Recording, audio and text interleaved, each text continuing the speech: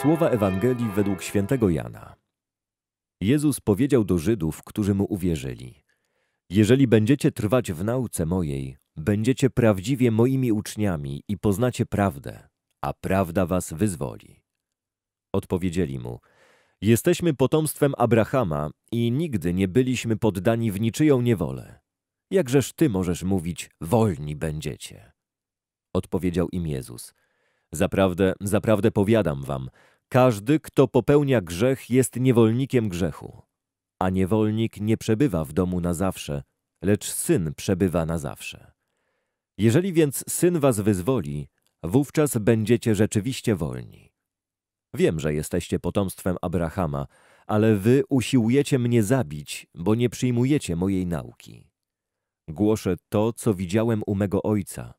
Wy czynicie to, coście słyszeli od waszego ojca. W odpowiedzi rzekli do niego: Ojcem naszym jest Abraham.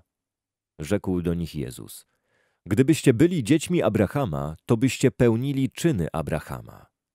Teraz usiłujecie mnie zabić, człowieka, który wam powiedział prawdę usłyszaną u Boga. Tego Abraham nie czynił. Wy pełnicie czyny ojca waszego. Rzekli do niego: Myśmy się nie narodzili z nierządu. Jednego mamy ojca, Boga. Rzekł do nich Jezus: Gdyby Bóg był waszym ojcem, to i mnie byście miłowali. Ja bowiem od Boga wyszedłem i przychodzę. Nie wyszedłem od siebie, lecz On mnie posłał. Grzech zniewala człowieka. Każdy, kto popełnił w swoim życiu choćby jeden grzech ciężki, stał się niewolnikiem grzechu, a sam grzech sprowadził na niego karę śmierci. Wszyscy zgrzeszyliśmy i nie ma wśród nas ani jednego niewinnego. Każdy, kto sądzi o sobie inaczej, jest kłamcą i nie ma w nim prawdy, jak mówi święty Jan Apostoł w pierwszym swoim liście.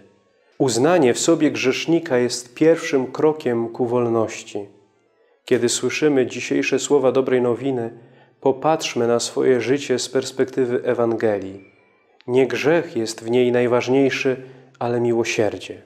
Każdy, kto uznaje siebie za grzesznika i prosi Boga o przebaczenie, doświadcza miłosierdzia.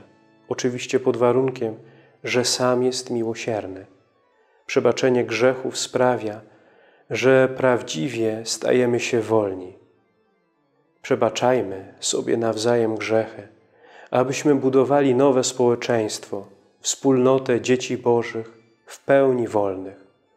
Przebaczenie jest przecież najpiękniejszym wyrazem miłości, a to jest prawo, które cementuje wspólnotę Kościoła. Bóg okazał nam swoją dobroć, stając się przyjacielem człowieka, przyjacielem każdego z nas. Pogrzebmy wszelkie waśnie i spory, a otwórzmy swoje serca pełne miłości wobec siebie nawzajem. Niech zbliżające się święta wielkanocne będą prawdziwie naszym zmartwychwstaniem z Chrystusem do nowego życia.